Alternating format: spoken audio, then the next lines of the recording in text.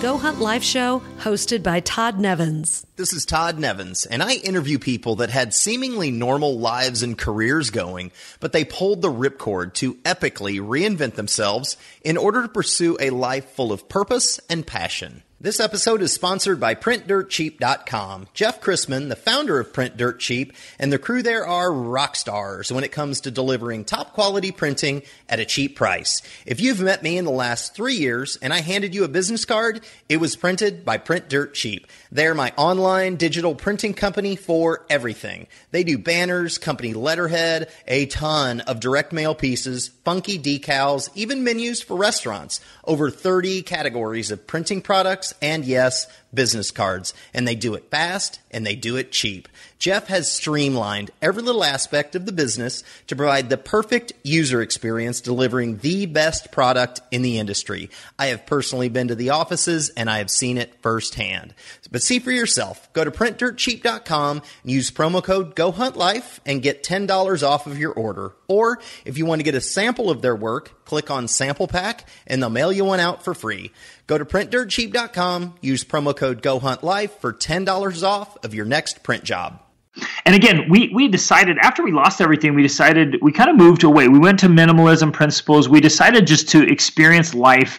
And literally, I decided in my late 20s to not work for money or work for money as little as possible. I wanted to experience life. We wanted to live deliberately we had been pursuing this path of get wealthy, get lots of things, you know, get all the possessions and the stuff. And we just, you know, re- went back to the drawing board, revisited everything, and said, you know what? We want to experience life. We want to live. That is Greg Denning, and the next 45 minutes are going to rock you. They did me.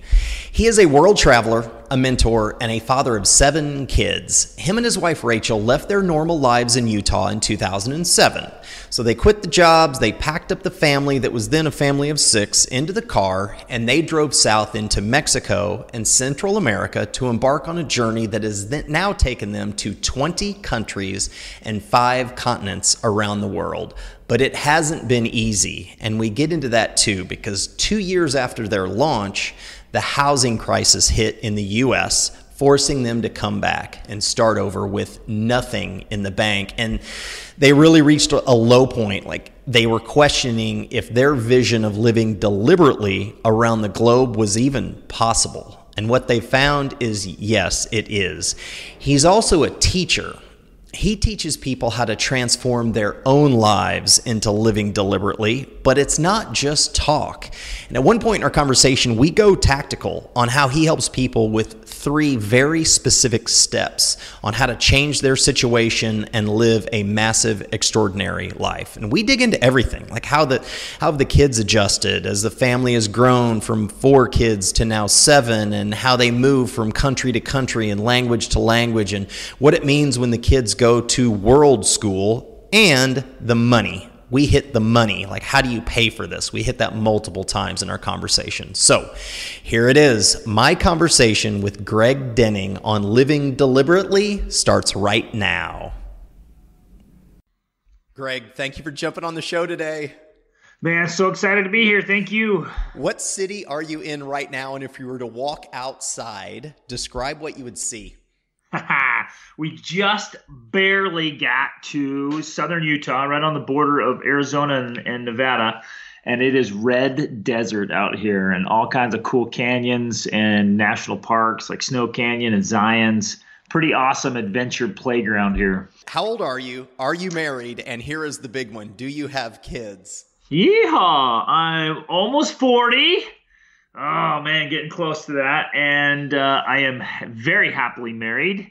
We've been married for 16 years and we have seven children. Seven kids. My wife and I just passed our 16 year anniversary as well. So, congratulations. To you too. That's awesome. And your wife's name is?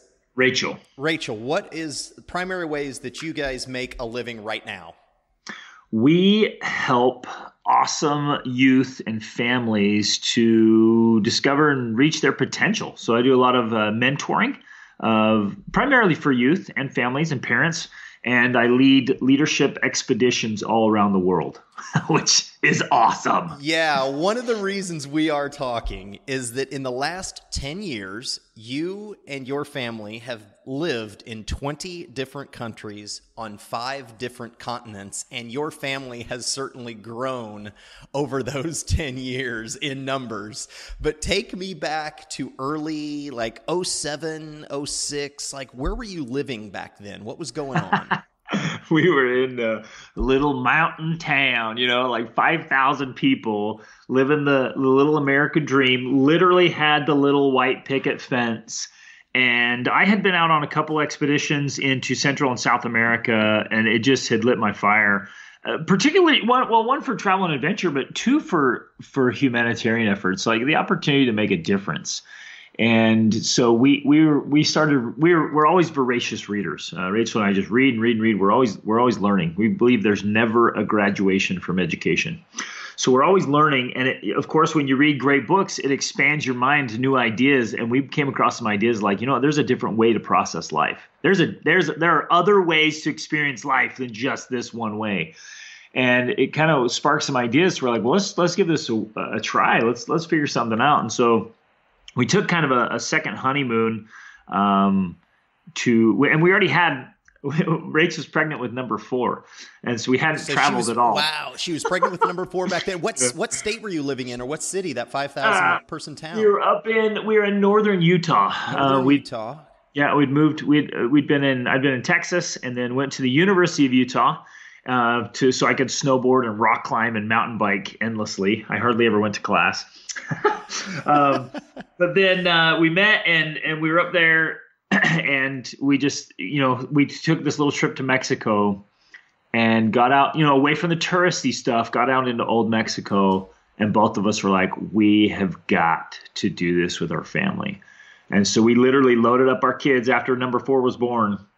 We loaded up our kids and we drove all the way down through on the you know Pan American Highway, all the way through Mexico and Guatemala and Honduras and Nicaragua into Costa Rica. And that was our first rodeo, and it was wow. awesome. Wow! So you sold everything you owned up in Utah. You didn't own anything that wouldn't fit in your car or truck. So we kept we got rid of almost everything. And, and interestingly, that was that was a hard process, but a beautiful process. I, I, recommend that at some point everybody try living some minimalism principles. It's pretty awesome to disconnect your life and your dependencies from things. I mean, things are awesome. We love having things, but but it, it, there's a cool experience to live minimalism. So we got rid of almost everything. You know, we kept all our books. We have thousands of books, and we kept all our books in a little storage uh, area at a friend's house and a few like memorabilia.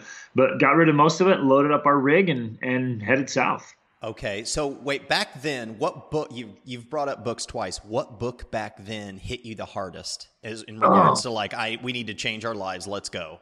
Are you kidding me? There's hundreds. There's hundreds of them. But I remember specifically these books on thinking and you know questioning uh, common thinking realities. One of them that comes to mind that we actually listened to on the way south was by Wayne Dyer, and and his point was you know he was saying well why why do you do what you do? Why do you live how you live? Uh, why do you put it's becoming it was called becoming a no limit person. Hmm. And basically, this idea of like, well, wait a minute, he, one of the questions he asked, he says, if you could step away from the earth, just in your mind, go all the way out from the earth, and just look back, where would you live? Why? What would you do? You know, wh- why do you do the things you do? And he says, just start, just start thinking through the kind of life. And basically, it was this these principles of lifestyle design of creating a life on your own terms, doing the things that you want to do for the reasons that you want to do them, and basically becoming your very best self. And so we were we were studying all kinds of personal development books and and all kinds of ideas about you know just working on yourself and creating your your own life the way you want to live it and, and living an epic adventure. And and that's really we, we, you know it was more of like a it was an awakening more like a, a, sunrise than a cold glass of water. I mean it was gradual but we just came to this idea of like you know what? We can live everyone can. We you can live the kind of life you want to live all right, let's talk about how you're paying for it. What were you guys doing for a living back then, and what was your plan to make money or pay for gasoline and food and stuff? Oh yeah, this is that. This has been a rough road, um, and so we can we can share all the mistakes we made and our failures in, in, in a hope that people don't have to make the same mistakes we made. Um, we didn't we didn't have the answers. I was I was actually um, teaching and working with youth and, and, that's part of my own story. I grew up in a broken home. I ended up out on my own at an early age, um, literally homeless, and went through some hard, lonely years. I was I was timid. I was shy. I was reclusive. I was ignorant. Had a poverty scarcity mindset. I was depressed and desperate and insecure, and I literally had to make myself. I'm a self-made man, and obviously had great people along the way and mentors, but but just had to make my life from scratch and and build it you know all on those principles of like voraciously finding the answers and principles to success and happiness. And and that drove me after I got you know got going in life, it drove me to want to help people, and so I actually went back and, and, part of my life mission and work is with youth, and so I was educating at the time and, and teaching and speaking and presenting, mentoring people, and that's what I was doing in in a you know small town working with a private institution, and we walked away from it, and it was incredibly hard, and we walked away from that and just you know turned in the resignation uh, from work I love doing and just said, you know what, no, we're going out. We're going out into developing countries. We're going to go try to make a difference in the world, you know, with philanthropy and also go have a great epic adventure with our families.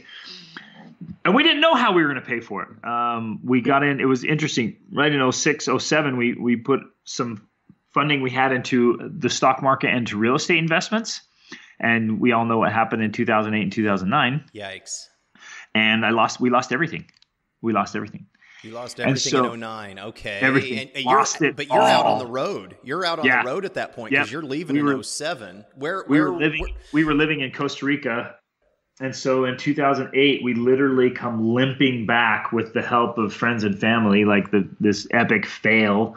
Um, just come limping back to start over. Got you know take our whole family and, and into this little apartment, trying to figure out what in the world, and really facing this question of is it actually possible? Is it actually possible to live this kind of life, or was it just some kind of dream and now we've blown it? But still struggling with, you know what? We love it's not for everybody, but it was for us. We love living abroad. We love challenge. We love adventure. We love you know that kind of lifestyle. And so we're sitting there saying is it possible? If so how do we figure it out? How do we make this happen? How long were you back in 09 when you limped back did you come back to the same town in northern utah? No went to went to a different spot um, met up with a friend and i was like waiting tables working construction like anything i could do right to get back on our feet. And we didn't even stay a year we just said, you know, we'll do whatever we have to do. We got to get out of here, and we ended up uh, with with less than a year. We were back in the Dominican Republic in the in the Caribbean. Oh, did you? Okay, so you got rid of the car then at that point and flew in. Is that right? Yep, yep, yep. So we went back there. this is an awesome adventure, man. So again, we're still trying to figure out how to pay for it. So yeah. we went on savings. Um, we actually, this one's a big one. People are going to think we're nuts, but we feel like, still feel like it was the right decision. We actually sold my wife's wedding wedding ring, right. and we're like, you know what? We'd rather have a, an inexpensive ring. It's the marriage that matters, not the ring. And we'd rather take the money from that ring and go have an epic experience.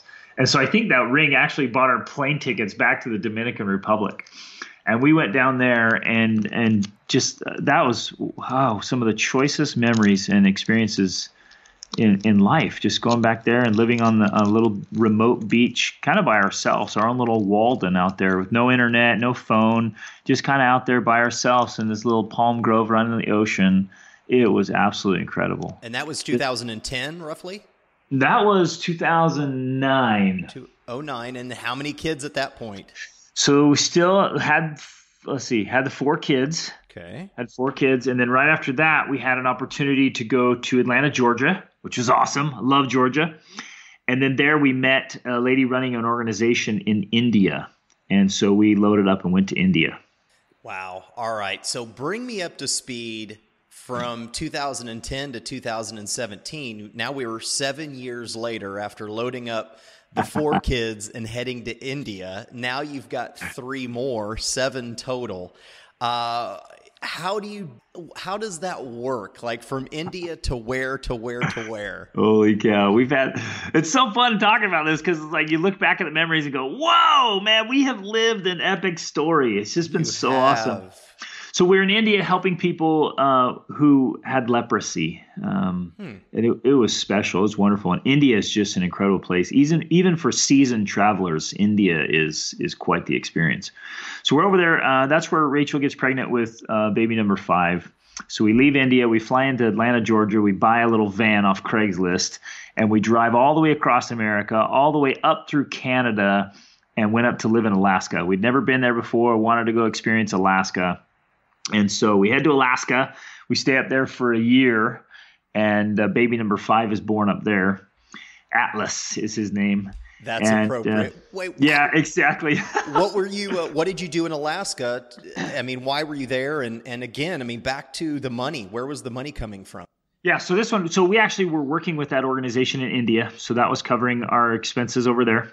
And again, we we decided after we lost everything, we decided we kind of moved away. We went to minimalism principles. We decided just to experience life, and literally, I decided in my late twenties to not work for money or work for money as little as possible. I wanted to experience life. We wanted to live deliberately we had been pursuing this path of get wealthy, get lots of things, you know, get all the possessions and the stuff. And we just, you know, re- went back to the drawing board, revisited everything, and said, you know what?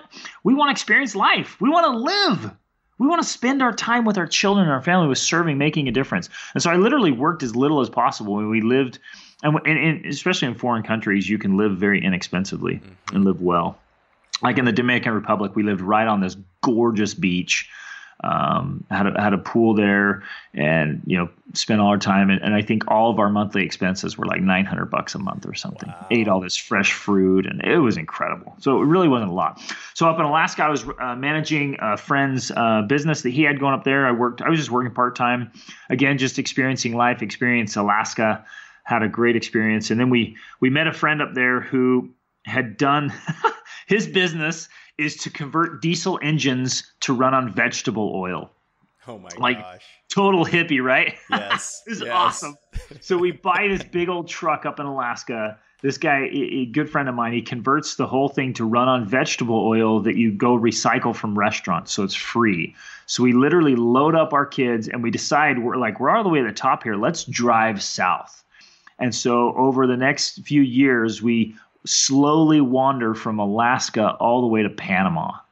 Oh and, my gosh. Yeah, epic. I mean, all the way through the Alaska, Yukon, Canada, Western US, all through Mexico again, really slowly this time, just camping all through the most amazing and beautiful spots in Mexico.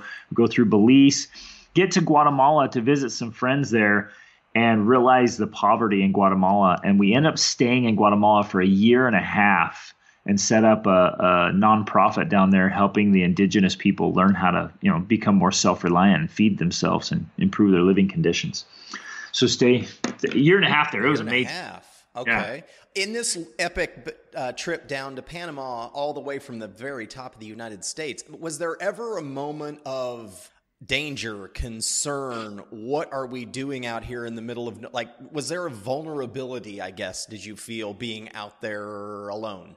Love it. I'm so glad you asked. When we started our very first rodeo in 2007, we drove to the border of Mexico. We were terrified. I mean, we were so afraid. Like people had told us we were going to die or get robbed. We It's so funny to think back how we traveled. We like we're like we don't even know if there's roads. like and there weren't there weren't a lot of bloggers or or you know, there wasn't a lot online. There weren't many resources like how do you drive the Pan American Highway? We were kind of just starting out a little bit of a rodeo there in, in, in a just kind of pioneering that adventure. Though many people had done it, there just wasn't much information. We hadn't met anyone who had actually done it. So we were terrified. So then, you know, jump ahead now to the second time. We drive all the way from Alaska to Panama. Not a concern, not a fear. We'd been all through Central America. Uh, we we spoke fluent Spanish. I'd spent time in in Peru and all those those countries in Central America. So we go back through this time camping, literally camped at the wall on Arizona side and Mexico side. Oh my! Border Patrol comes up and we're like, "Hey, is, is it dangerous?" He's like, "It's no way. It's not dangerous." He's like, "The people crossing all the time. There's no problems. The only problem that people that have problems are the people who are somehow involved with drugs." Yeah. He's like, "Otherwise, you're totally fine." So we camp there. We end up camping for like four and a half months all through Mexico. Never had a single threat or concern, never had any problems. In fact, the people would, would come out and they're open and friendly and kind. They would offer us food or, you know, hey, come stay on my land, stay as long as you want, come come over visit our family. Can we share something we have? I mean, this and, and we found that's been our experience all around the world. i am coming up, you know, I'm, t- I'm turning 40 in January and I'll hit my 40th country. Beautiful. And so so it's 40 countries, and and it's been the same everywhere we've gone, whether it's India or Morocco or Turkey or you know Poland, wherever it is, we've felt that vast majority of people are just good, good people, and they're they're they'll more they're sooner to give you the shirt off their back than they are to try to rob you. Now I, I'm not naive that there are criminals and, and problems and things, and especially in the big cities. But but our experience has always been so good with people everywhere.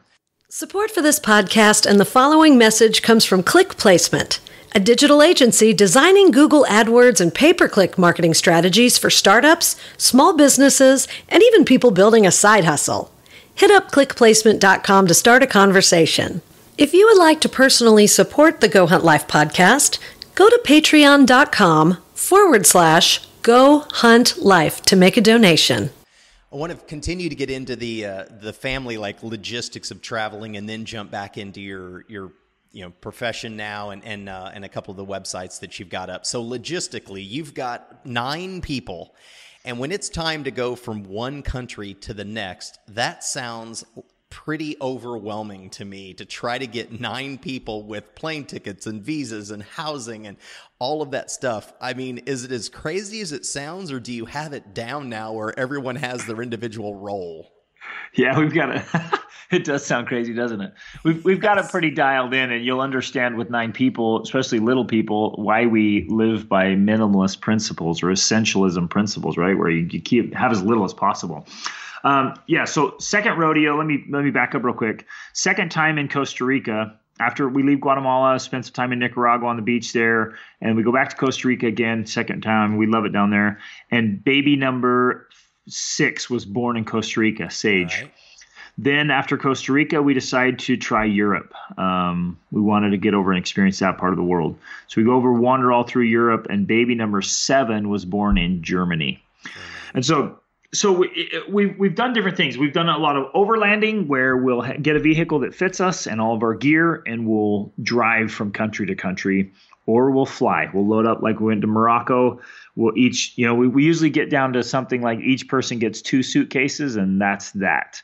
And the older ones obviously can help carry those. Otherwise, I'm a pack mule and I carry everything else and kids. Uh, but it keeps me in shape. Well, and, so we'll, and then when we'll you're staying overland, uh, you guys are camping, I guess, some of the time. But when you're flying into Morocco, are you house sitting? Are you Airbnbing it? Are you signing short or long long term leases? Like, where's the housing come in? Yeah, I love it. And actually, it has changed so much. When we first started traveling, there was obviously no Airbnb or VRBO or anything. I mean, we were just getting, we'd, we'd show up and be like, talk, start talking to locals, say, hey, where's a place we can rent? Uh, we literally rolled into the Dominican Republic without a single plan, a single contact, literally no nothing. Way. We we had no hotel arranged. We had nothing. We just knew that's where we were going, and uh, we roll in out of the tax. We took a bus. it was crazy. Took a big old long bus and then a taxi. We get to the end of the road, drop out all of our stuff, and we're standing there like, okay, let's find a place to stay. And literally within a couple hours, we had this beautiful home arranged on the beach inexpensive. I think we paid like 350 bucks a month or something for this beautiful, beautiful place. And uh, with no arrangements, and within a couple hours we were set up. It was amazing. But now, now we have, you know, we're we've got Airbnb or VRBO all arranged ahead of time, and we usually try to stay for a few weeks or a few months depending on how we do it. So same thing as we did in Morocco. We just uh, arranged an Airbnb. So had had drivers arranged when we got to the airport. They pick us up, take us right to our Airbnb. We just unpack our clothes. Internet's already working, and we get in. and I can be working the next day and back in action. All so right. it's it's made it really easy now. all of the different uh, countries that you go to, how do you handle all of the different languages from German to Spanish to all of the other places? Yeah. So we uh, the whole family now is pretty fluent in Spanish. Um, I've been speaking. We adopted our first daughter, and I already sp- was fluent in Spanish, and I spoke to her. Um, and, I, and I try to speak Spanish to the kids at home here. And then we've lived in most mostly Latin American countries now, all through Central America, and so we're great with Spanish. Then when we went to Europe, it was a whole new ball game and we were introduced to a new level of discomfort. when, when you roll into Hungary or Croatia, and you're like, I have no, and there's no English, right? No English signs, nobody speaks English. You're just faced with this opportunity and challenge of learning how to communicate uh, beyond language and how to figure things out. And it's actually quite enjoyable. I love it. I love the challenge of it. And and you end up doing a whole lot of charades uh-huh. and and trying to figure things out and just saying, you know, okay, I don't understand, they don't understand me. We'll just try to make this work. It's it really is fascinating and fun, and, and I I love to enjoy the challenge of it. Um, but we're we're we're studying French now. Um, I'm getting semi fluent in French already. Um, and we, we kind of live by that. We want to we want to become fluent in a new language every four or five years. I want to speak uh, myself and all of my children speak multiple languages. So Morocco and France, uh, we use the French. Having mastered Spanish, we understood quite a bit of Italian. Yeah. Um, but as far as you know, the German or uh, you know in Poland or Slovakia or Slovenia or any of those places, we just we find people speak Spanish or, speak English um, or just figure it out. And yeah Charades. It's a great experience. It's a great experience. It really is. Is there anything in the last 10 years, or even let's say the last seven, um, since you guys jumped back out, is there anything that you wish you had a, uh, like a big decision that you had a do over on that you would have changed if you had a, a second crack at it? Yes. Okay. I wish that I had. So this is interesting. I literally wrote in my journal I wrote out a plan of of the work I wanted to do, right? And kind of, and, and, and I'm pretty adamant about doing work that you love that is purposeful and meaningful to you. In fact, I think everyone has a personal mission. I really do. I think we all have a purpose, a unique purpose, and a mission, something that we were just born to do. Sometimes that aligns with our work, sometimes it doesn't. But I literally wrote down, it was like 2010 or 2009 somewhere it was years ago i wrote down i clearly wrote down the plan i wanted to do for my life mission my work and that i needed to do it. I just had that clear inspiration i wrote it down. I didn't do it. I waited. I went off and, and did other things tried other things and i didn't do the work that i was destined to do for years um, and so if and that's what I'm doing now. I'm doing it now, obviously, and loving it and and being you know very successful at it. But I wish I had done it sooner. I wish I had taken action sooner, um, and not not put that off. That's that's the big one that stands out to me. How long ago did you start to take action on it? Whew, finally, in about uh, probably 2012. Okay. 2012, I really started started doing something there. Okay, so dig into your your current profession and your current way that you make an impact and and make money and and keep it all keep it all going. And and really the big piece is is how you are impacting others. Like how does it look right now? Like a normal schedule each week and and what is your what is your role Fantastic. So, um, like I mentioned, I study voraciously. I'm I'm still learning. I love to get up early and read great books. Everywhere we've been, we literally would pack four to five hundred pounds of books with us everywhere we go. Some of those suitcases. Kidding. No, we always have books because we're adamant about education. We want our kids to have a world class education, and we want ourselves to continue earning a world class education. So, I've been studying personal development and peak performance for over two decades. And I love learning great truths and then sharing them. And essentially, that's what I do. And so I do a lot of mentoring, like leadership mentoring, self leadership, social leadership, family leadership, humanitarian leadership. And so I teach uh, great youth and parents uh, how to discover and maximize their full potential, how to be their best selves, how to operate in a way that you know they're working on what I call the fantastic five: physical, mental, spiritual, social, and emotional. You're working on those important aspects of life. So I'll I'll do mentoring online, so that's location independent, mm-hmm. and then we will lead just transformational expeditions. Uh, I did a World War II expedition. We visited five countries, and to take a group of people and to stand in the concentration camps and to experience that, to feel that, to learn about it, it, it just changes things. Uh, took a group of people into Morocco out and to ride dromedaries out into the Sahara. Uh, just wrapped up two humanitarian leadership expeditions in Guatemala, where we go down there, have some great adventures, and try to make a difference. You know, and so I'll spend, I'll do five or six trips a year. Um, just to phenomenal places, take a bunch of great people with me and go have an incredible experience. And then I'll um, do mentoring um, two to four days a week for a few hours. Again, I, I'm pretty adamant about having my time with family and time to study and learn and time to have adventures. So I'm, I'm, I'm still really strict about how much time I spend working for money. All right. So you also um, are world schooling your children. They are going. They have got experiences, unbelievable experiences, and you also have a website called WorldSchoolFamily.org. So you mentioned the four or five hundred pounds of books for for the kids. Like, what does their education look like on a I guess a normal weekly basis. How, how structured is it, and, and what do you guys do? So it, it, kind of depends on where we are, what we're doing. You know, from from overlanding, we're in a truck to flying to you know staying setting up shop somewhere for a few months. Uh, we always have the books, so we read. We spend time reading every day. I read to the kids every day. They spend time reading every day. Uh, they pound audiobooks. We'll go on. You know, we're on a drive or something. They're listening to audiobooks. We're getting tons of great input from the books. Uh, so that's that element. I think there's, there's several pillars of a world class education. Obviously, one of them is study. You're getting in the good books, learning from the best leaders and thinkers and, and experiences of all time.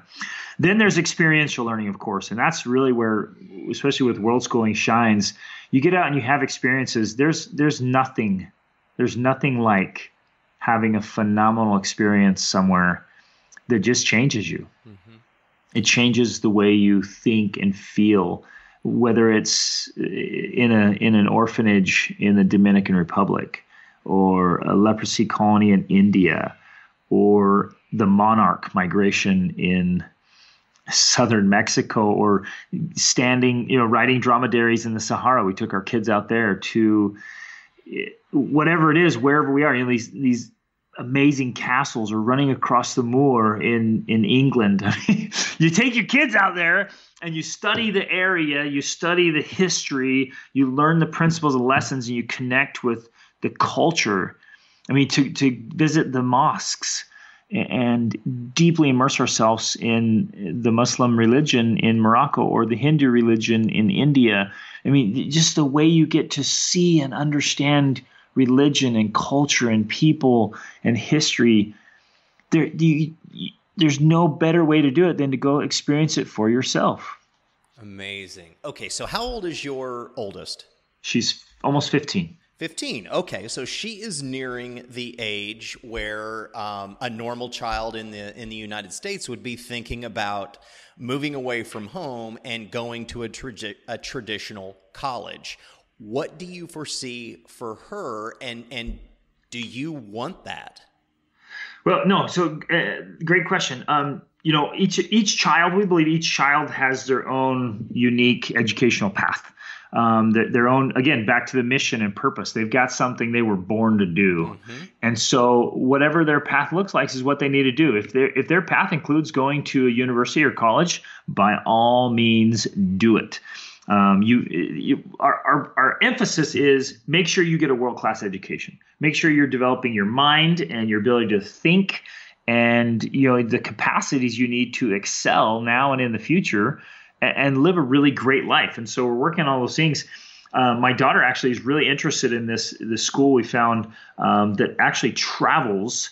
Uh, the, the the school travels, teachers, students, everybody travels, and they in each semester i think they go to two or three different countries. They immerse themselves there. They study the language. They study the culture. And so my daughter's quite interested in, in doing that for some of her her quote high school experience. Man i'm interested in that. That sounds yeah, awesome. Sounds awesome. Oh sounds awesome. Gosh. so we're actually it's actually really rigorous kind of intense to get in there. So we're working on that application process if she wants to do that. And and then uh, I mean we do that anyways. we do that anyways with family, but she's interested in that school, and so yeah, so you know she's finding out. Uh, she thinks right now she feels like her passion is to become a speaker. She wants to speak and teach and be a presenter. And so yep. her educational path is going to include, you know, learning how to be an effective speaker and presenter and learning all the things she needs to learn to be able to be an influencer and a presenter. That may include some college classes, no college classes, or, you know, advanced degrees. But for any one of the kids, if, if they want to do that, fantastic. We'll support them in any educational path they want to pursue. You have experience in a in a U.S. based university. What do you see from the, the, the typical universities in the United States versus colleges and universities abroad?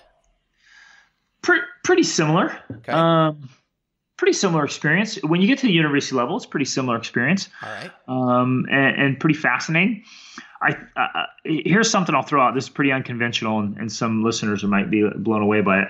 Um, because I've been in education for so long, because I've been studying this and, and watching it and, and researching for so long, um, I'm, I'm really getting to this point where everything's changing because of the internet, because of book publishing, because of the way people. It's we're moving to a meritocracy where people you get what you deserve, you get what you earn, you you get rewarded for what you know and what you do well. And so, in many instances, not all, but in many instances, colleges and universities are becoming obsolete because the even the professors, the great thinkers, the great leaders, they're publishing their own books, they're doing their own courses, and you're getting things available online, like MIT, right? Phenomenal edu- uh, institution there. All their stuff's available for free online. Mm-hmm. Um, Germany just opened up all their universities for free to people who want to come in. Uh, and so a lot of people are just putting all their their resources out there in books and programs and uh, online education. There's so many resources online. The classroom's moving online now. That's exactly what I do. I you know I spend a lot of time teaching on online classroom. And so things are moving in that direction where you can really earn a great education, find out what you need to know, get training from the best people in the world and earn, you know, get a self-directed phenomenal education and learn what you need to learn, become really, really good at it, and you can succeed in family, in business, in social interactions, and, and really get a great education outside of a university. Wonderful. I knew you were going to go in that direction. I assumed, and, and I 100% agree with you that the traditional the traditional uh, university where you you know you jump in and and uh, move into the dorms and, and spend a hundred plus thousand dollars over the next four years and I mean that those are uh, becoming a harder and harder sell for for families to uh, to pay for and uh, and the value is uh, you know now is in question versus exactly what you described that is I, I agree as well. Yep, it's it's tough, and, and, and boy, you have to if you're going to do it, and it's not bad. It's not a bad thing to do, Mm-mm. and it can be a fantastic if it's part of your path and you need that advanced degree. By all means, go get it. But I'm saying you better know exactly what you're getting, and it better be worth every penny. You better be able to justify the expense and and the process to know, yeah, it's worth it to do this. Otherwise, there are a lot of other ways. I guess it's it's an exciting time in the history world. There are other ways now. There's so many avenues to get a really great education.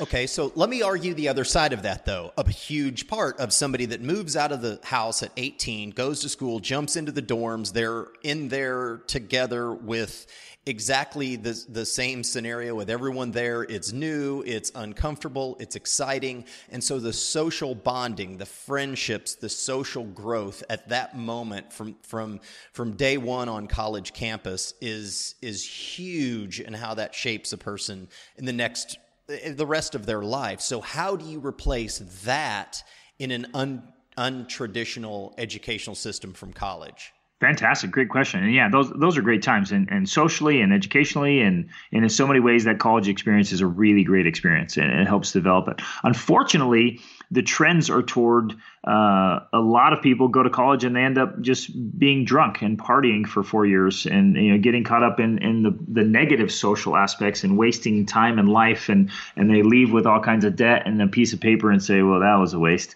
And they made some foolish decisions that they wish they hadn't done.